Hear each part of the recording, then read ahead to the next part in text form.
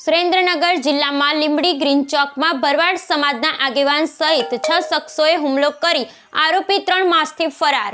આ ફરાર આરોપીને જોગરાણા પરિવારે તાત્કાલિક ઝડપી પાડવા સુરેન્દ્રનગર જિલ્લા અલિક કલેક્ટરને આવેદનપત્ર પાઠવી રજૂઆત કરી. સુરેન્દ્રનગર જિલ્લાના લીંબડી શહેરમાં ગ્રીન ચોકમાં એક જ સમાજના લોકો વચ્ચે ત્રણ માસ પહેલાં મારામારી થઈ હતી અને લીંબડી પોલીસ મથકમાં ફરિયાદ નોંધાવી હતી. પરંતુ આજ સુધી મારામારી અને હુમલાના કેસમાં મુખ્ય આરોપી સહિત છ આરોપીઓ ખુલ્લેઆમ ફરતા હોવાના આક્ષેપો સાથે લીંબડી રહેતા જોગરાણા પરિવારના સભ્યો. કલેક્ટર કચેરી ખાતે દોડી જઈ સુરેન્દ્રનગર જિલ્લા અધિક કલેક્ટર એન ડી ઝાલા સાહેબને આવેદનપત્ર પાઠવી રજૂઆત કરી હતી.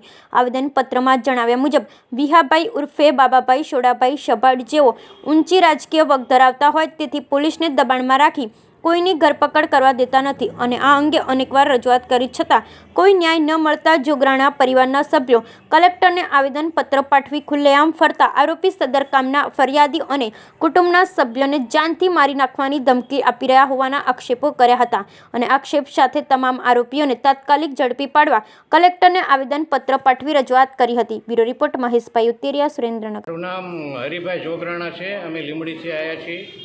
અને અગાઉ પણ આ કલેક્ટર સાહેબને અમે આવેદનપત્ર આપેલું અને અમારી ફરિયાદ લીધેલી પણ આજે ફરિયાદને ત્રણ મહિના થઈ ગયા.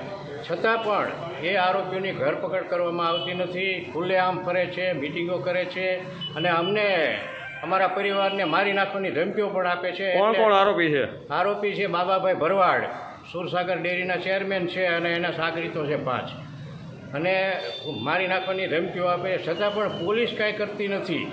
ખુલ્લેઆમ ફરે છે, અમે પોલીસને રજૂઆત કરી. છતાં પણ પોલીસ આમાં કોઈ પગલાં ભરતું નથી. કેમ કે, સુરસાગરના ડેરીના ચેરમેન હોવાથી એને રાજકીય વગ ધરાવે છે.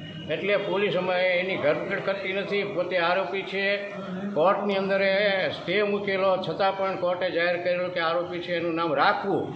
છતાં પણ પોલીસ કાંઈ કરતી નથી. એટલે અમે આજે કલેક્ટર સાહેબને રજૂઆત કરવા માટે આવ્યા છીએ કે કોઈ પણ પ્રકારે આ આરોપીઓની ધરપકડ કરો અને અમને એમાંથી બચાવો, રોજ મારી નાખવાની ધમકીઓ આપે છે અમને.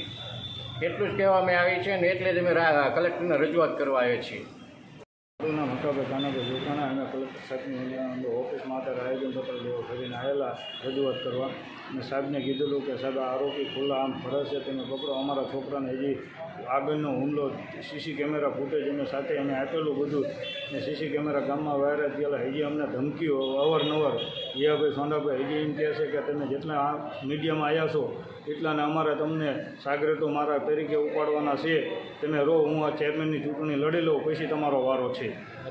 મારી રાખવાની ધમકી ને એમ કહે છે કે આ સાઠ સાઠ લાખ રૂપિયા અમે જો ડિરેક્ટરોને દઈ શકતા તો અમે આવા સાઠ લાખ રૂપિયા હતો પચાસ લાખ રૂપિયા અમે ગમે અહીંયા વાપરી, અમે તમારું જાનથી મારી લાગશું.